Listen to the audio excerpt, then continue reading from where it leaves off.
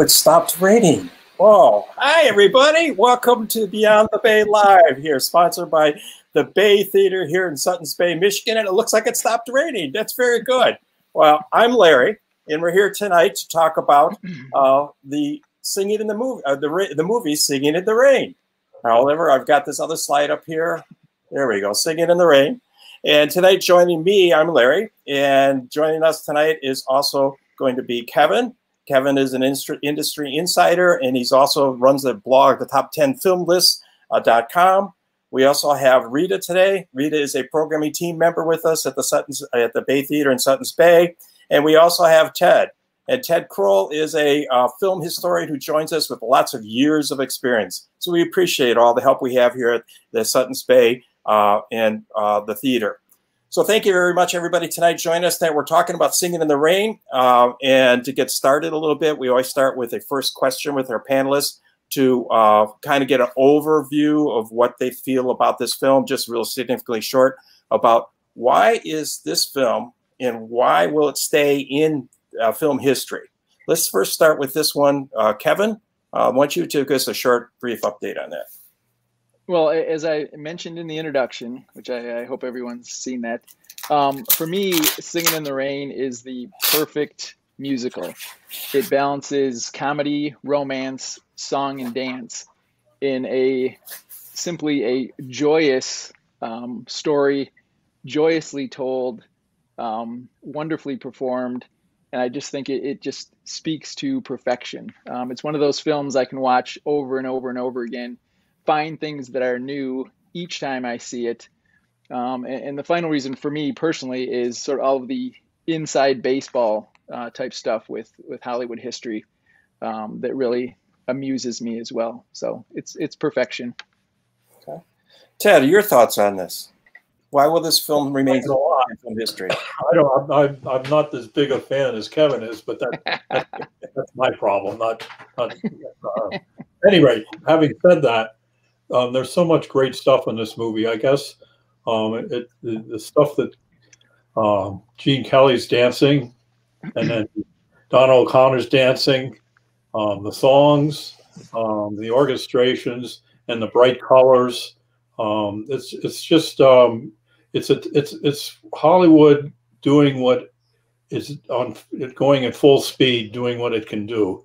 And the pacing of the film is great. And you know it's it's got an interesting story that keeps moving along. There's no um, it, it, it, as soon as it kind of settles down a little bit somebody pipes in with a song or starts dancing or something like that. So um, it, just keeps you moving along like that. And um, and there's the the, um, the, the, some of the humor is just um, very very uh, was very very um, you know when the when they do that business with the sounds uh, and the microphone and all that that that is a great gag and then and uh, I would appreciate that so. So Rita, what do you think about why this film will remain in film history so significantly? Well, I think uh, Kevin and Ted have covered all the big things. I agree with them completely, and it's. I think I'd like to just add to that. It's it's a very joyous film. It's very um, easy to watch it over and over again because it has so many interesting layers to it. It's very well balanced between the dialogue sections and the singing and dancing sections.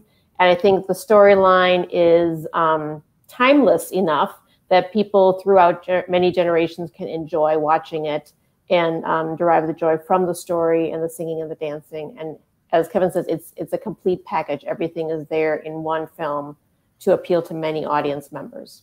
And of course, who doesn't want to go out sing and dance in the rain, right? All right. Well, thank you. Uh, so let's get started with the first question and welcome everybody who's here. I see some familiar faces and thank you, Scott, for that uh, comment on my costume. I appreciate that. Is this a true period piece? Now, when we look at this film, it's supposed to be, it's filmed in the 50s, but it's supposed to be set in 1927. Is this a true period piece? Um, who'd like to begin? Kevin, we could start with you. Yeah, well, I look at um, sort of the the idea of it being reflexive, right? It looks back at at Hollywood. Um, so I don't know that it is a straight period piece because it's a satire about um, that bygone era when when Hollywood shifted from from silent to sound. Um, so I, I, think Ted nailed it. It, it is timeless. Um, so I, I, don't think it's truly a period piece. I think it just exists in time, but it, it, it certainly casts back to a, another era, but not a period piece. Anybody else? Well, yeah, I mean, you, I've, I've, been called the film historian here, and, and, the fact of the matter is, I think one thing this film shows is that it shows how awkward it was that, that when they, they went into um, the change into sound, and to a certain extent, that's true, but in, but in another sense, I mean, this is why I'm saying it's not really a period piece. Is that there were people that from immediately uh, directors that grabbed for the sound and did some amazing um, sound, you know, use sound in, in, amazing ways right away. So it, it you know, it, it, wasn't as um, as terrible a, a, transition as it seemed. Um, but but that whole idea, I think the, the one thing it does show is that the people were resistant to go ahead. And, and maybe the one thing it does say that was the success of the jazz singer. I mean, that is a, a historical piece that um, mm. They weren't quite expecting that to be the smash success that they expected, and so um, everybody had to go ahead and and and add the sound. And you know, um, only in, in, Japan they didn't do it for like third twenty years or ten years. They didn't add the sound, um, but um, in every other part of the world, um, they, there was this obligation to fill in the, the blanks and um, I, I, and it, it, added a different dimension to filmmaking. Um, there were there were it, it, added a whole bunch, but you know things weren't that bright and cheery. They, weren't that colorful, and um, you know the, the, the hairstyles weren't that. It, it's a it's a musical. It's and it's mostly about the music. The the other interesting thing, and I guess we'll get into this later though, but the songs. Uh, most of the songs um, that came through on this thing were from that early sound period. Um, they did have some original songs in there, but they dragged a whole bunch of songs out of the, uh, you know, the, uh, out of the MGM um, uh, vaults. And um, "Singing in the Rain" was a, a, in a film in 1930 or something like that. It certainly didn't have Gene Kelly bouncing around in it. it, it was a, I, I think one of the, the, interesting things about that transition to sound is there wasn't just one technology that was in play. So if you're in this one, they talk about it be the sound being scratched on a record. Mm. Um, but you know, Fox was developing a magnetic strip on the film that evolved more into what we have had since then. So there were other films coming right behind this that had a complete soundtrack. I know this they talk about, you know, the the you know they want music and they want um, dialogue, but really, you know, Jazz Singer only had what had maybe one scene of dialogue, and the rest was a silent film. Uh, it was very little there was actually sound. So this is actually sort of cheating history by leaping ahead a couple years from that transition, because by 1930 musicals had exploded in Hollywood, and that was really one of the the first um, sort of the the, the showstoppers um, when they added the musicals uh, above just the talking. Um, so it sort of cheats history in that in that regard too. So mm-hmm. that again, it, well, it, it plays with I'm it. Sorry, Reed, let me. But you know, the, the sound, uh, the silent era, the, the kind of rough and ready stuff they show in there. That, that apparently there there was a lot of that. Um, mm-hmm. And they show about how the background was, uh, you know, was was uh, cranked by and all that kind of stuff. there were a bunch right. of uh, things they did in the sound era like that, and they did have the guys on the screen on the um, making, you know, uh, Donald O'Connor is doing the piano playing, and mm-hmm. they, they did have orchestras playing while they were shooting the silent films. and and the director was yelling at the people what to do. So I mean, in that in that sense, it it it, it was re- I wouldn't say realistic, but it, it did depict what was going on. You know. Well, yeah, there's that that one scene scene where they're walking and there's stage after stage after stage mm-hmm. lined up right on top of each other. Each one's shooting a completely different type of movie, but because they're silent, it, you know, you could pile them all on top of each other. So, yeah, there's little bits like that that that make it fun. Rita. Yes, so the guys covered a lot of topics right there in their answers. But I, back to the original question, is it a period piece? I would say no, because it isn't specifically true to one period. Um, as both Ted and Kevin mentioned, they did indicate um, happenings of that era of 1927 and how film technology was changing. But I think the film bounces around a lot, like between the um, the filming time and the the dueling cavaliers time it's not really a true period piece but it does look back with some fond nostalgia at that time to acknowledge all the changes that were going on in the film industry at the time. And i want to add something too is that the last scene is the last shot you see is of the billboard singing in the rain. It's like it's promoting the film within the film and so when this is looking at, if you go through the whole film and watch it through it, you're kind of feeling like you're being bounced back around in time. You're watching things that you think could be in the 50s, could be here, but yeah, but it's it's just engaging you that much. And it is true, as Ted was saying, is that the songs were actually from that time period. If you uh, Arthur Freed, who is the producer, executive producer on this, he was the one that actually wrote the lyrics for Singing in the Rain in 1929. He was a lyricist and would work with somebody else, and they they wrote music. And a lot of the music, I don't can't remember every piece is made from him. But Arthur Freed uh, became a producer, working a, a, assistant producer, something like that, working with uh, Wizard of Oz. You see in this pictures collage up on the left, you see uh, uh Judy Garland there sitting there because he worked there, then got promoted to do just focus for MGM on musicals and he won two Oscars for producing uh, the uh, pictures An American in Paris and Gigi. In American in Paris, we're going to talk about later probably is how it relates to the effect of on the reception and the viewing of how it all conflicted. But Arthur Freed was involved with all of this. And so when we look at this movie, it's using the, the music of the 20s, which he was really a part of, yet inflecting a lot of the stuff that was in the 50s available to do and the styles, and then even show the movie like we're making this movie called Singing in the Rain. So I thought that was kind of interesting. It's not really a period piece; it's actually a satire or a reflection on the whole industry itself. Well, and it's funny because all, all these. Oh, go ahead, Ted. Speaking of Wizard of Oz and Arthur Freed, apparently he they were going to cut out the Over the Rainbow because it was kind of a downer kind of thing, and it was Arthur Freed that insisted that Over the hmm. The rainbow be included in it, and well, the rest is uh, history, you know. yeah. The, the, the funny thing is that so yeah, Freed did write all of these with his uh, partner. Um, and I write this down. I think it was Brown. Um, and all of these, ten of the twelve films that actually make the final cut of the movie, um, were actually recycled from other films. One of these um, titles was uh, in 15 different films during the late 20s and early 30s. So all of these songs at least their melodies and in, in most cases their lyrics too were used in other songs. And the freed unit um, that is, as larry mentioned was and still is the the pinnacle of hollywood musical filmmaking. Um, their string of hits and, and larry mentioned a, a, couple of them you know american in paris is a is another one. Um, but their list from 1939 to you know the mid 50s was un paralleled mm-hmm. in in the greatness of what they created. And it was a really small unit. It was essentially um, Vincent Minnelli, uh, Liza, I'm not Liza Minnelli, Vincent Minnelli, Judy Garland, uh, Gene Kelly, and then he had a, a sort of a, a boatload of uh, songwriters, lyricists, and um, and screenwriters that that really crafted all of the movies.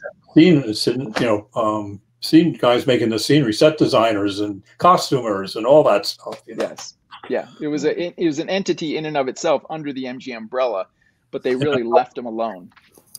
And it was untouchable by the uh, MGM studios. They they no, they just let it alone. Um, yeah, it was money making money. You know, yeah. people wanted musicals. Make them laugh though was original with um, singing in the rain.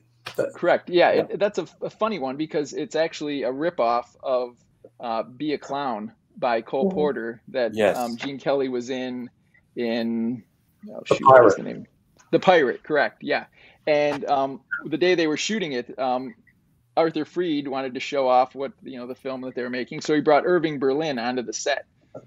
And Irving Berlin sat down, listened, and then he's listening to him, you know, sort of do the song to make him laugh. And then he started laughing and he said, That's be a clown. You ripped that off. And Arthur Freed became indignant and embarrassed that he had, you know, come to show off. And then he sort of realized that, yeah, it is a ripoff of Cole Porter's uh, Be a Clown. And so he ushered Berlin off the set. The stage crew and the actors all knew they could sense that it was a blatant ripoff, but Arthur Freed never admitted it. But Cole Porter, to his credit, never once approached Freed that he had ripped off his his song almost note for note and just let it slide. So that's graciousness on Cole Porter's part. The song. What's that? Who pays attention to the song? It's, it's, it's uh, the dancing yes. and activity is just so incredible with that. That's just yeah. Everybody, I think as a kid, I remember the flipping, walking up the wall and flipping over, and uh, that was a big scene. Just the whole this is one as a kid. This one really, I was like, this is like, wow, this is really cool. And what I like also is about the scene, as we're seeing here from the song, is when he's sitting on the couch with the uh, headless dummy. Hmm. So he's sitting with the headless dummy. Is that it looks like the set is huge because they designed and placed the painting behind for a long distance hallway to give this uh, the perspective of a bigger facility. And I think right there, it just doesn't look like a couch against the wall. It's actually looks like something standing out by itself. And I think this little this this this musical number and the way it was composed, and if you watch it, how it's all choreographed with all the materials, and then this, you know, he's he's just dropping on the floor. Donald O'Connor's just dropping on the floor, getting up and, and changing his mouth around. Like when you look at his lips on this one picture over here, it looks like he's twisting his nose, but he's not. He can really twist his twist his mouth to make it look like his nose is bent. So, well, we, Donald we O'Connor was a, a vaudevillian. He started performing when he was 13 months old oh, and oh, really? was born actually um, not directly off stage, but essentially on the road in Chicago with his family doing vaudeville. So this is Donald O'Connor at his greatest. And all of this is sort of choreographed improv that he did. And they shot it one day, and it was very exhausting, clearly, everything that he does but they had a problem with the sound, ironically, yeah. for a movie that uh, makes fun of that.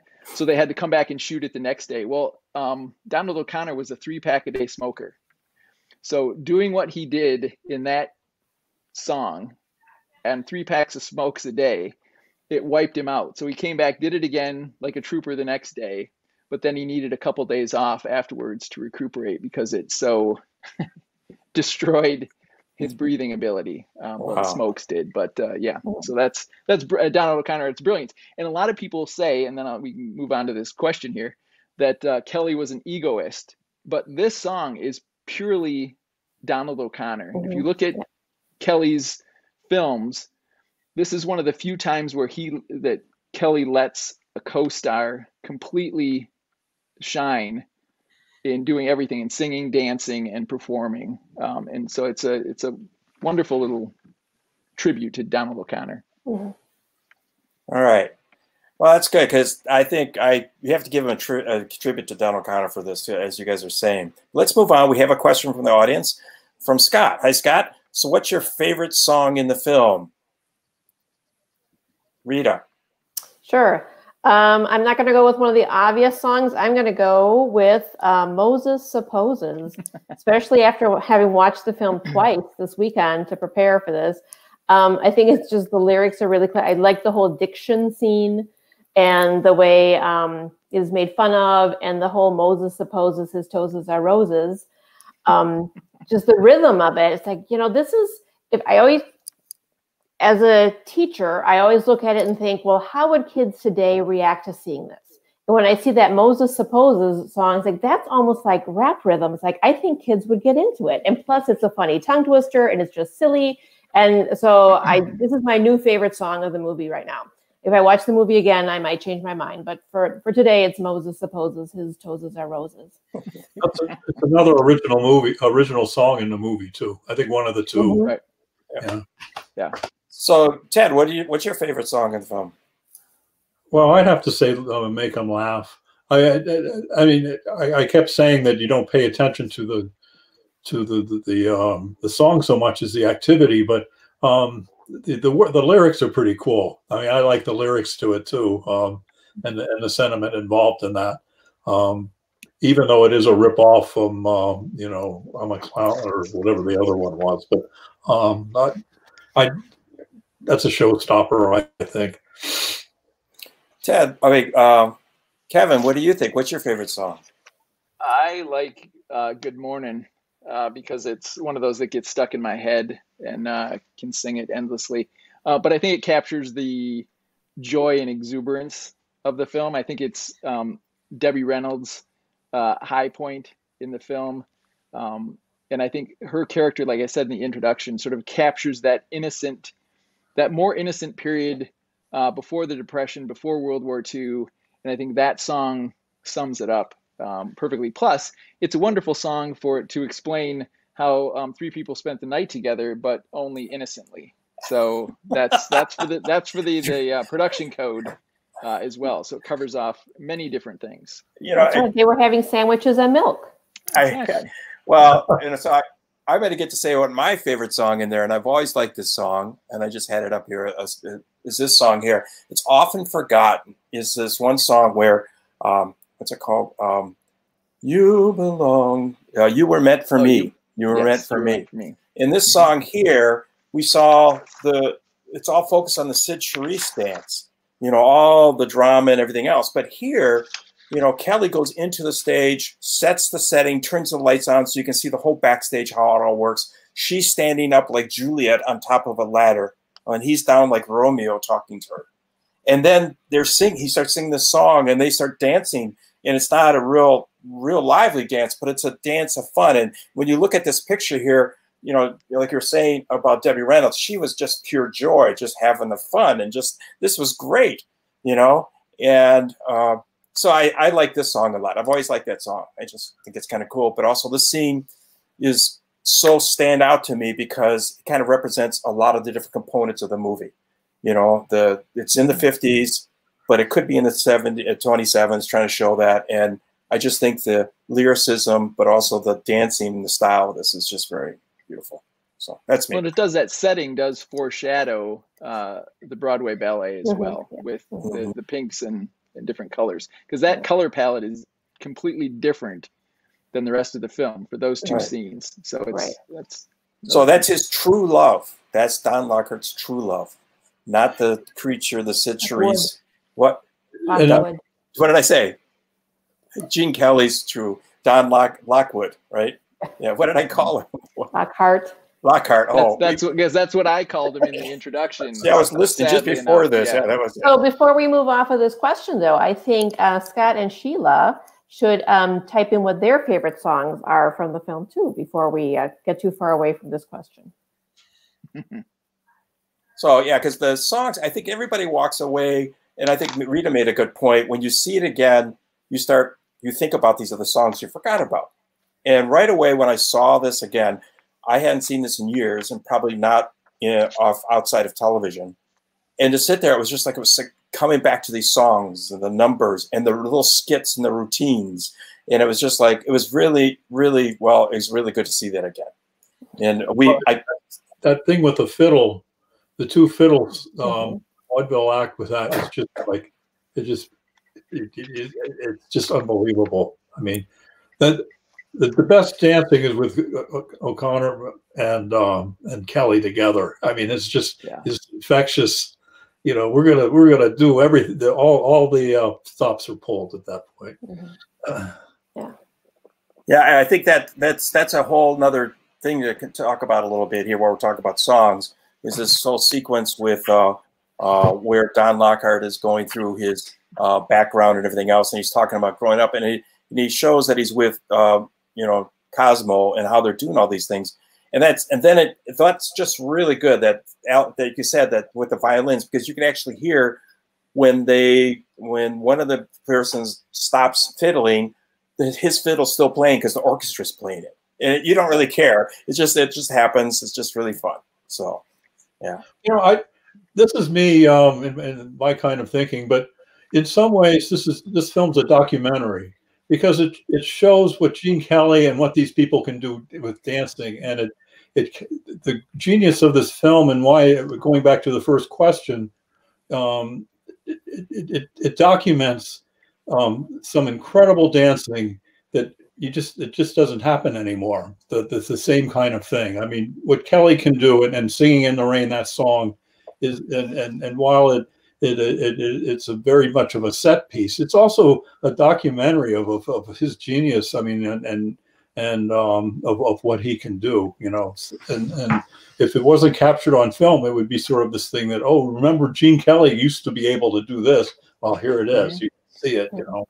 Well, anyway. it's the it's the idea of the what what he called what he and Stanley Donen called the Cinedance which was like I mentioned in the introduction, they they take the typical stage bound music musical numbers from you know stage musicals and they add the element of the camera that can move. So it changes the space and the dynamic of everything they do. And it's you can see it simply in movies like uh, in songs like good morning where they move from room to room and you know and is complicated as in the broadway ballet where they can keep that camera moving. And, and like i said it it adds emotion. And that was kelly's whole idea that you have to his musical numbers had to be something that you couldn't duplicate on a stage, um, you know, step for step.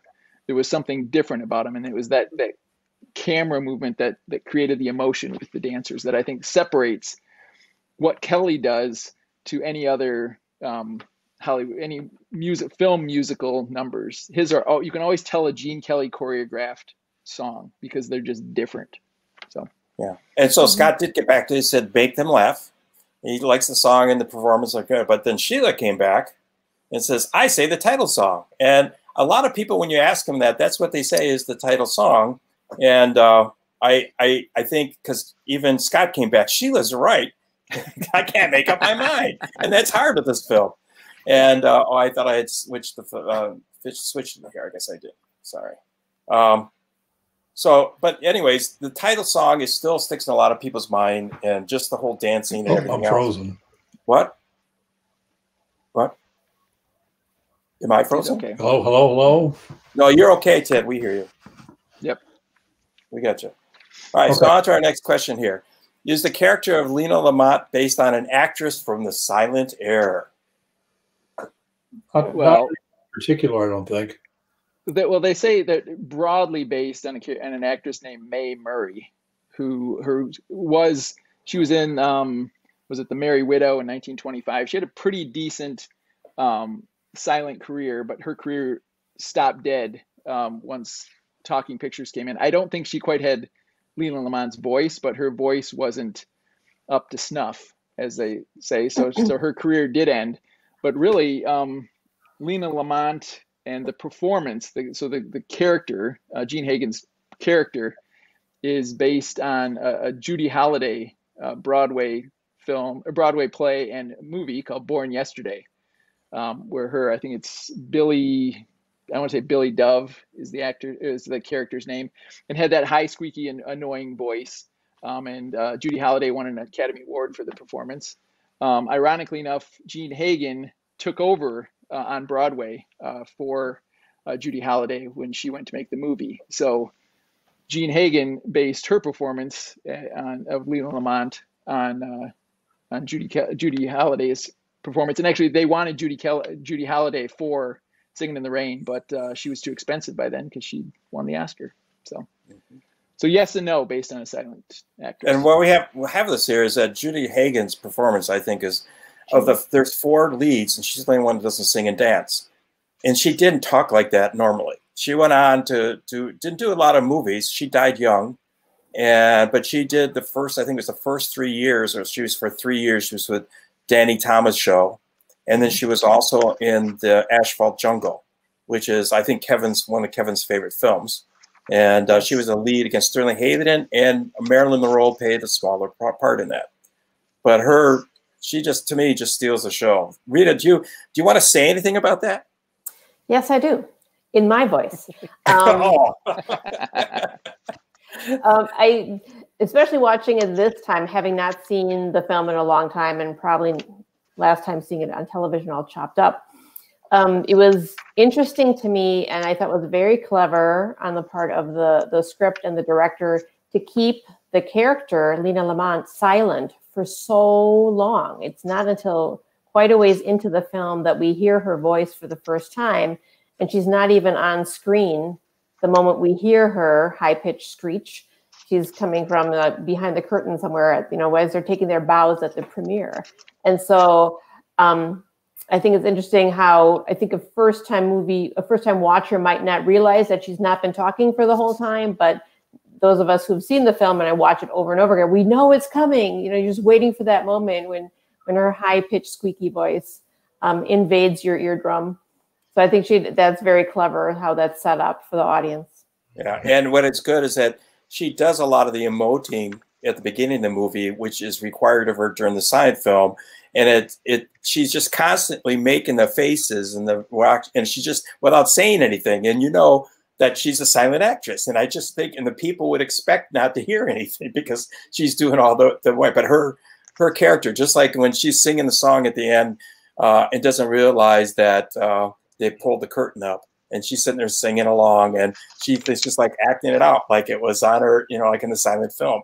I just think it was great. So, well, Ted, anything else? I'm going to throw in something here, and, and this is one of the reasons I I, I have my second thoughts about this film is because she's so such a caricature, and um, she's made into the villain in some ways, but Mm-hmm. you know, she's also uh, uh, you know bu- rebuked by by every by all the characters, and I find that um, somewhat off-putting.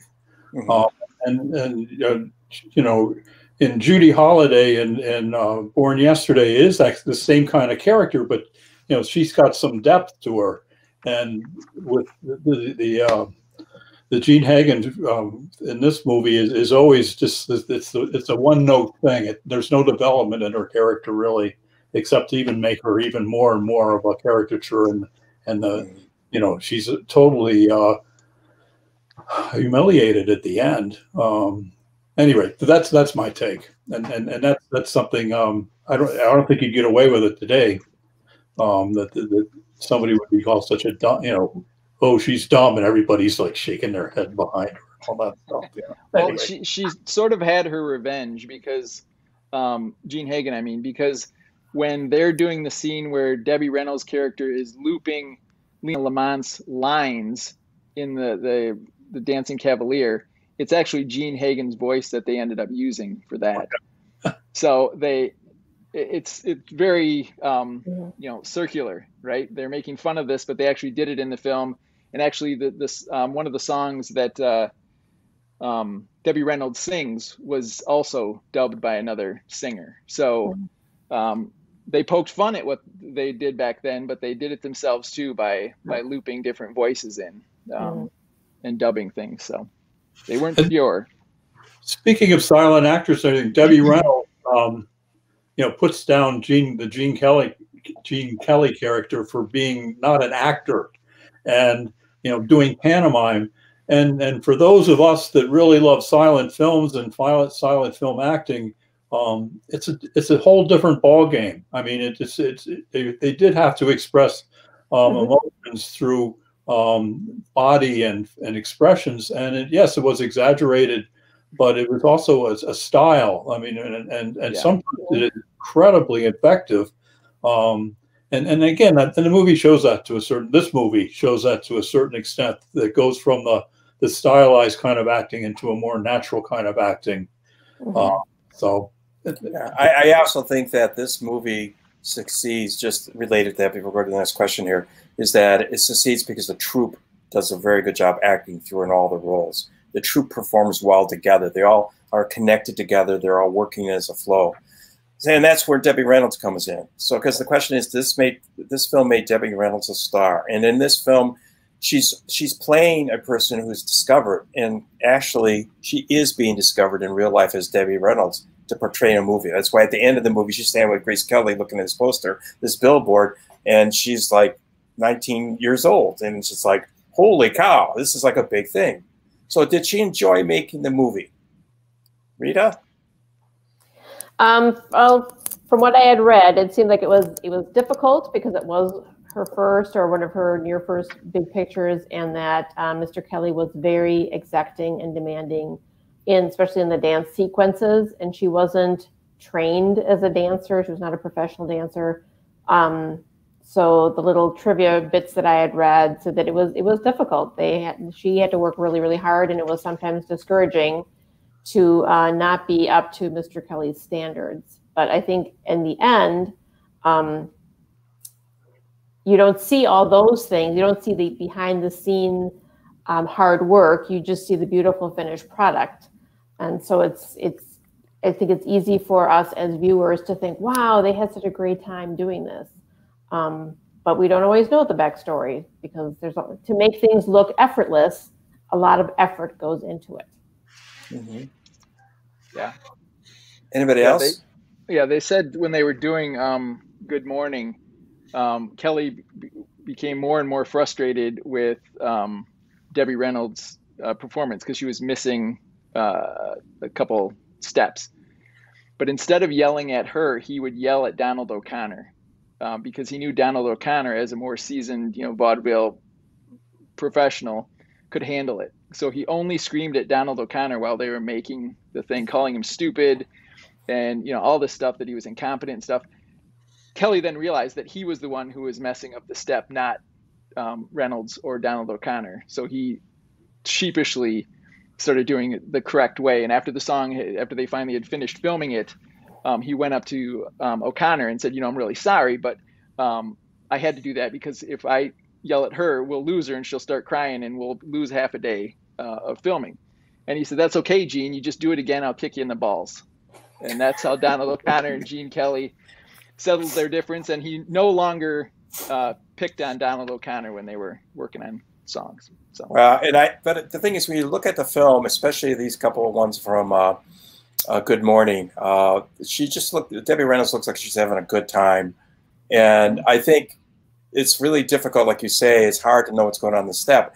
But I think some of these things, they're it's coordinated. So many things were coordinated. It took so long to make these shot shoots uh, and some of these sequences. Uh, but uh, she looks like she has a good time, and but it's hard. They said it was hard for her to get through this to the point because if you're taking somebody without experience in dancing, not really a singer, known as a singer, but she's a stage actor. And I want to say something too is that I kind of think this is very similar to Emily Blunt, who played uh, Mary Poppins in Returns, played Mary Poppins.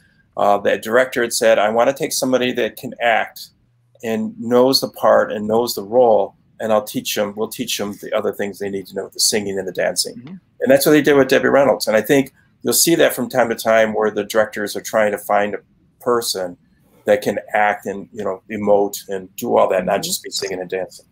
So, yes. I have a question for Kevin. This is directed by Don and Kelly together. How did they work together? Was it? Do you, can you? I don't. I'm not. I haven't heard much about that. Uh, Yeah, Did you- so they had a very interesting relationship. They they actually started working together on Cover Girl in I think 42, which was uh, Gene Kelly was on loan out to Columbia Pictures to make a film with Rita Hayworth, and he brought Kelly in. I mean, brought um, Donen in as an assistant uh, to Gene Kelly, essentially. So he helped with some of the choreography and, and things like that um, while they were making Cover Girl, and they clicked. They had a similar sensibility, so they started working together. I think in the late 40s, they may have directed on the town, which I think may have been the first time they were co-direction uh, that they gave it to. But when they were, uh, Kelly always saw Donen as his son. You know, he's 12 years uh, younger than than Kelly was, so he sort of treated him as a as a son, as an inferior, um, which later they fell out because of that. Um, but making singing in the rain it's essentially Donen had the eye behind the camera so he, he was very good like i talked about those cinedance how he could you could intuitively know where the camera needed to be when kelly was choreographing the songs so um, he was more of the technical side of the filming um, Kelly was everything in front of the camera, and and Donen did um, most of what was behind the camera.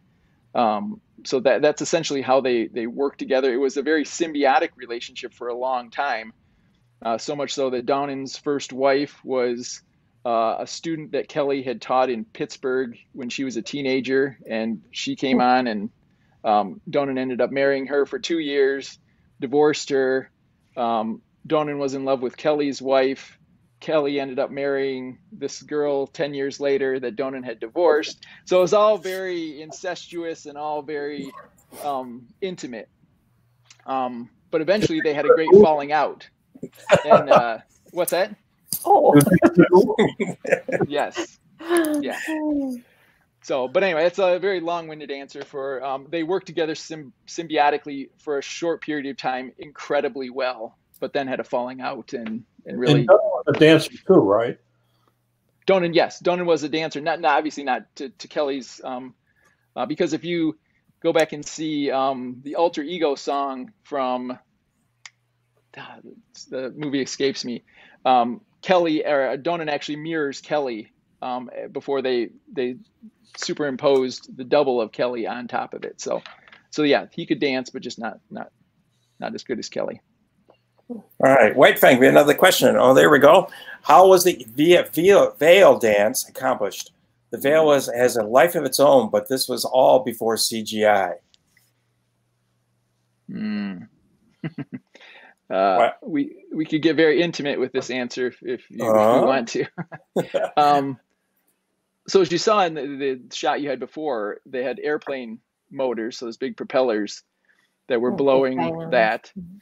Yeah, so the big things, and uh, Cyd Charisse had to be held up at some point because it was going to push her down. But the main problem was, as they were shooting that scene, the force of the wind um, made her very skimpy costume uh, even skimpier, and would have moved "Singing in the Rain" to a an X rating um, because they couldn't solve that problem.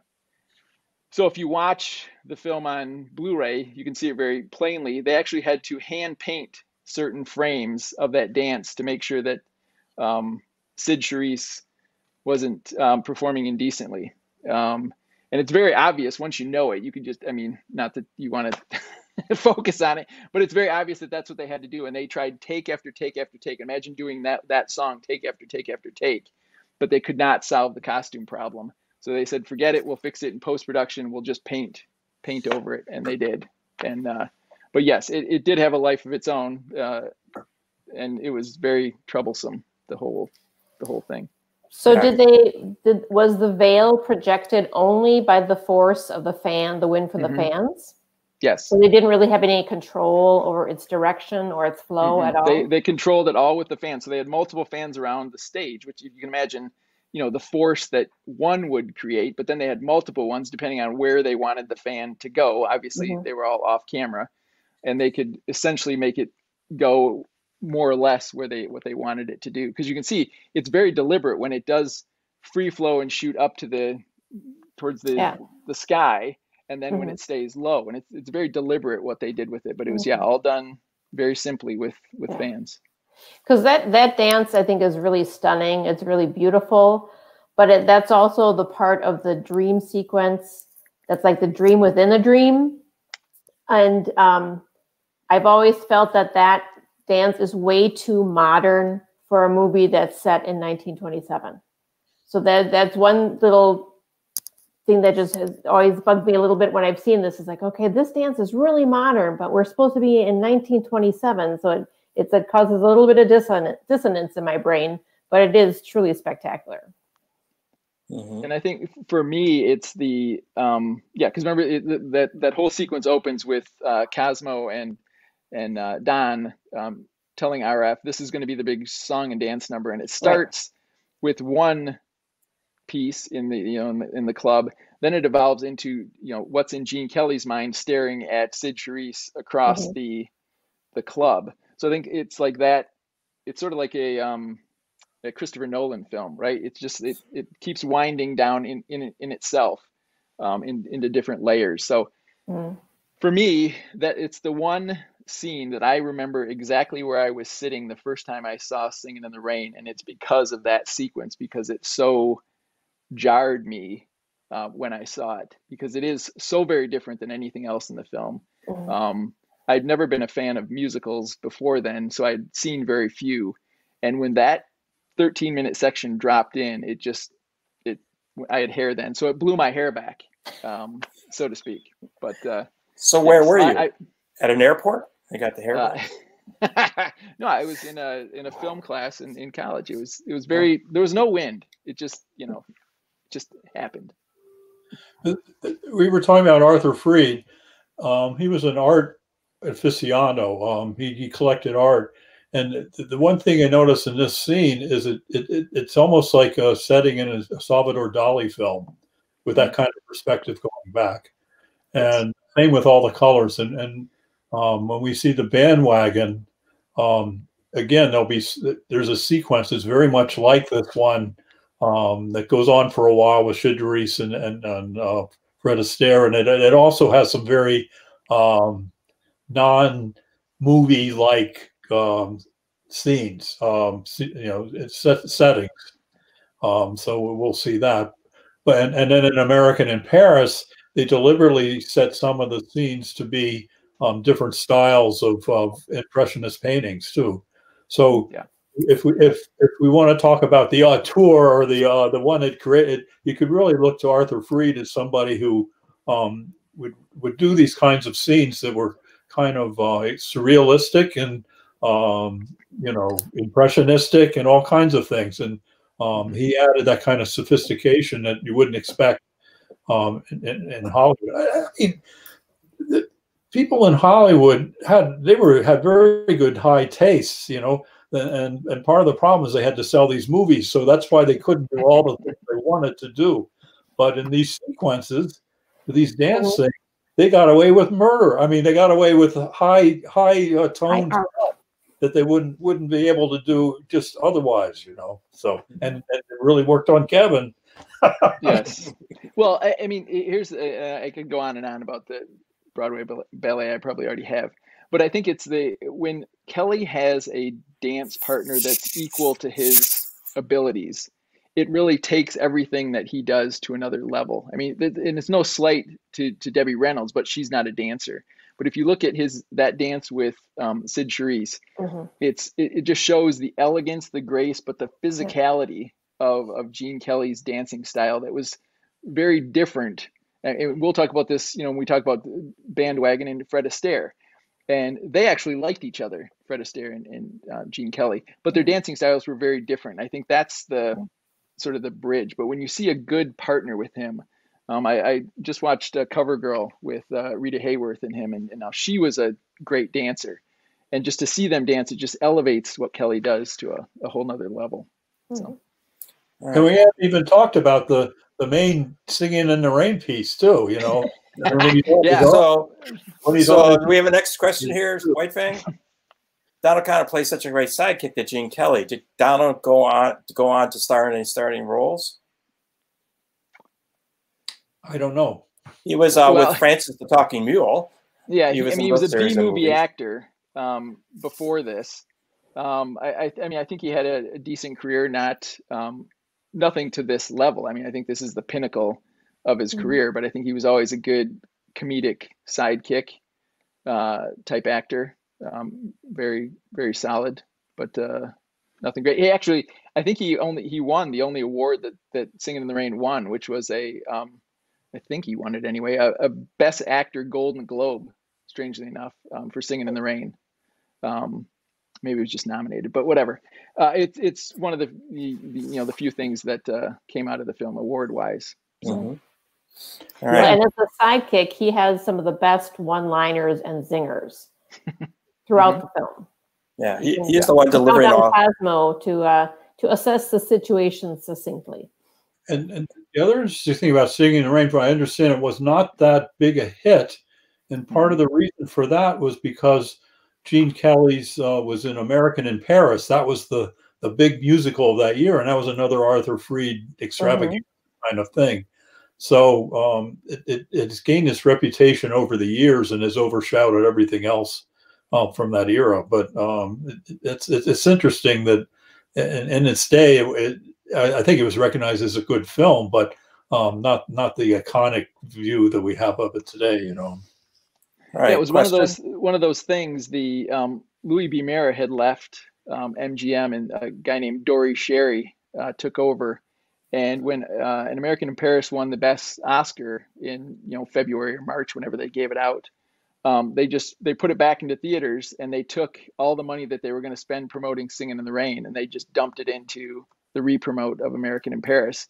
So it did get good reviews. It's just it was swallowed up um, by American in Paris, mm-hmm. which is a good. It's actually a great film. It's I just don't think it's as good. So, mm-hmm. question, White Fang? The singing and the dancing brings happy action in this movie. Has action, violence replaced singing and dancing in movies? Well, action. action. have the uh, the background of the people. You know, the actors today just don't have that. Um, you know, they don't come from the stage, and and then that's not as popular. Of course, they had La La Land, which is sort of a update of this movie in some ways. I mean, even though it has this kind of um, you know, sad ending and all that kind of thing. But there's that exuberance and color in LA and, and, and movies and all that kind of stuff that's, that's in it. But uh, I just don't think people are. Uh, I, you know, the, there's another thing that struck me about this is TV was coming in right around the early 50s. Mm-hmm. And so the bright colors made this would bring people into the theater because we we really realized that Um, there wasn't any color. You don't realize it was just black and white. You know, not even high definition, no no definition color. So people would come in to um, get a, a, really good production and bright colors and all that kind of stuff. That's another factor in this, and and I think people it, it, it just doesn't have that appeal that that um, for the audiences now. Right. I also think that along with uh, Ted's thought about television coming in at this time, I think what happened almost simultaneously as a lot of the singing and dancing moved to television in the form of variety shows that people could watch at home. So there you got your singing and dancing fix, but singing and dancing moved away from the films. Um, and we really don't have, like aside from La La Land, um, there really aren't movie musicals that are made nowadays. And all the, the movement is is portrayed in action sequences rather than in dance sequences. And both have to be choreographed very exactly in order to be good and to be safe.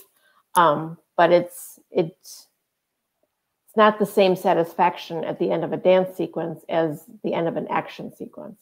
And I forget who the guy is in in La La Land, but he's no Gene Kelly, that's for sure. Ryan was that Ryan Reynolds? Ryan Gosling. Ryan Gosling, yeah. Well, Ryan. if you if you look at some of the musicals that have been made, they're essentially stage stage bound musicals. So Les Mis was out probably ten or twelve years ago. Mm-hmm. Chicago was out in the early aughts, and um, you know, sadly, that abomination that was called Cats, um, which was out a couple years ago. Dude, they're more stage bound, so I think they they lose in that transition to movies what Kelly and Donen, uh, you know, spent their careers uh, mm-hmm. advocating, which was this taking it out of the, the theater and making it something wholly unique to uh, to the, the, to the movie screen. Back then, adults went to the movie theaters too. Mm-hmm. Mm-hmm. yeah, there's more that. so than children.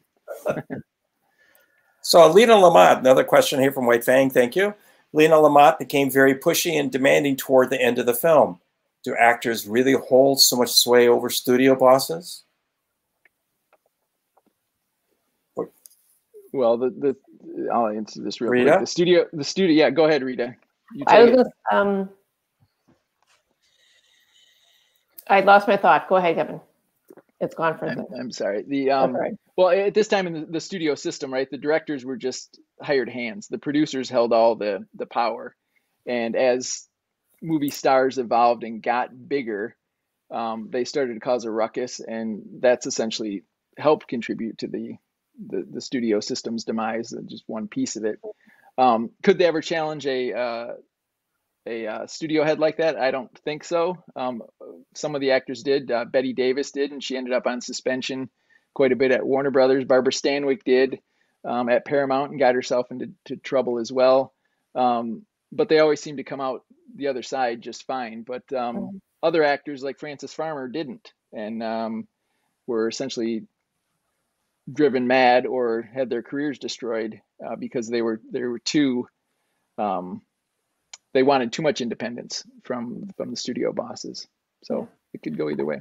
Yeah, I remember what I wanted to say. I think that nowadays too, there are many more legal teams involved on both sides, handling all these little questions and making sure contracts are read and fulfilled and um, I's dotted and T's crossed. So I think it adds this in this scene. Um, it adds to the story, and it of course pushes it to the the the scene that we all like when you know the, the curtain goes up and we see uh, um, Kathy Selden singing behind the curtain. Um, but it does make you think, well, how much influence do the actors have? Because sometimes it seems that they're just pawns in the studio system. You know, you have to make this film because that's what your contract says. Right. I mean, they're called on movie factories or the dream factories, mm-hmm. and um, that's really what was happening. I mean, I love that Raoul Walsh was a, a, a, Warner Brothers director, and he said he he would learn what his next picture was. He would finish a picture, and then on Monday morning, somebody would throw the next script on his, his at his door like a newspaper, you know. So I mean, in some ways, they were just trying to produce a product, you know. Mm-hmm. And with Arthur Freed, he had this. We, we talked about it, it was his own little um, production company, and he and so everybody was pretty much happy working with him because uh, they had a steady job and and and they were working together um, and with the same people, and, and so um, these couple of movies were that he made in the 50s were just a different kind of a, situation than that was mostly going on in Hollywood. And right around now, too, as the actors started getting a percentage of the movies, James Stewart um, was the first one who got what 10% of one movie, and, and that just changed everything. Um, so. Yeah, so we're we're running low on our time. We give our, ourselves about an hour to do this, and so uh, do we have our last question there? So when was the last time? This I want the audience to think about this the same thing at this time right now. When was the last time you were singing and dancing in the rain? So Kevin, why don't you tell us that? When was the last time you were singing dancing in the rain? Um, I'm gonna I'm gonna go uh, aggressive and say it was last summer, and I'm sure that I belted out singing in the rain because my kids and my wife enjoy uh, how much I sing and when I sing. So I'm sure that was it. And if you can't tell the sarcasm, uh, I've got a bridge. Rita, what about you? Um, I can remember a couple times I've been caught in the rain, but I don't think I. Um, I think I'm far too serious a personality to to sing and dance in the rain. Maybe I'll work on that in 2021. what are, real yeah. quick, seeing that scene there, um, yeah. it, it, just flows from one thing and seems it seems like all one take. Apparently, it took them days to make that, mm-hmm. that thing. And yeah. another that's another brilliance of this movie is that sequence is just so great. And another thing I read about was that they had to worry about the water. They were pumping so much water into it, it was uh, draining the reservoir in, the, in, in Culver City, wherever it was. So they they had to time yes. that. People and, couldn't uh, water their lawns. Yeah, and I, I think like, I like tramping in the snow rather than singing. Good answer, Ted. Yeah, I just think so because the thing is, singing and dancing in the rain, you sing a song, everybody sees it, everybody loves it. Kids go out naturally just to go out and dance and play in the puddles. I like to do that. You know, it's like when you're outside and it's raining, why not? You have a good time, and this song pops in my head, and it's a lot of fun. So as we go on here, we have to go uh, leave us now. We're getting closer to our end time period. So thank you, and I want you to leave everybody thinking about when's the next time you're going to be going out. Is it going to be? Are you going to go sing in the rain? And we want to thank everybody for coming today and uh, showing up with us. And we also want to remind everybody to please go and subscribe and turn on your notifications because that way you'll get updates when we're posting things out to our, our Bay Theatre YouTube channel. And next week, we have, uh, not next week, next two weeks from now, we have the bandwagon live online discussion here again with our panelists uh, on the bandwagon. And this this film, the bandwagon, is similar into uh, what the movie we just talked about, Singing in the Rain. And that Singing in the Rain was all about movies and the making of the movies. And this, the bandwagon, is about making theater productions. So we're going to see the contrast between the similarities between the two. And Ted Kroll is going to be, yes, the, like in the song at the end. and so the, as Ted is going to be doing a short introduction uh, uh, uh, that's going to compare the two movies. And then Ted is also going to do an introduction and uh, after that about this movie. So we hope you go and watch those introductions and Joyce two weeks from now. And please, next time it rains and it's warm enough, please go outside and sing in the rain. Thank you, everybody. Have a good weekend. Be safe. And we'll see you in two weeks. Thank you, Sheila. Bye bye.